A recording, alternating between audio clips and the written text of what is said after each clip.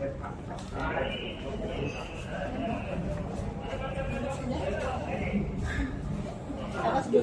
selamat atas menangani hari ini. Gimana kan tadi sudah um, melakukan dua ronde. Nah, ini gimana?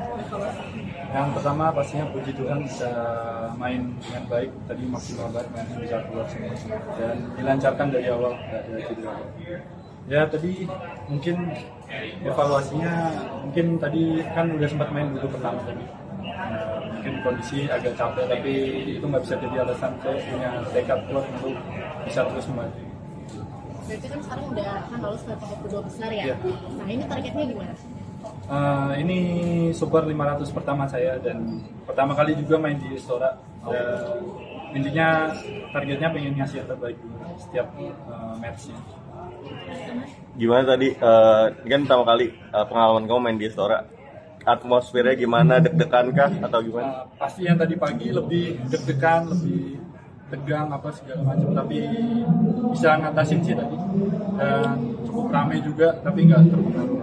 Di apalagi di yang barusan lawan Calcio, kamu menang dan disambut dengan atmosfer yang luar biasa. Menurut kamu gimana?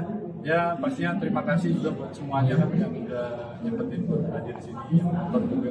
Ya seneng sih, seneng banget.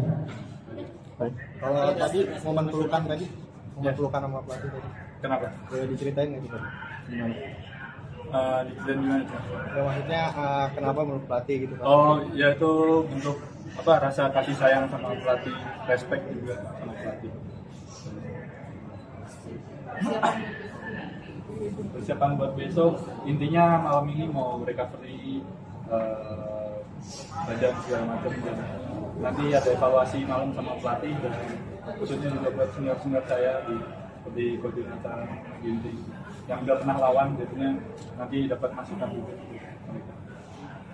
Percaya diri bisa lolos ke 16 besar? Eh, yang pasti saya ingin memberikan yang terbaik di setiap match ini.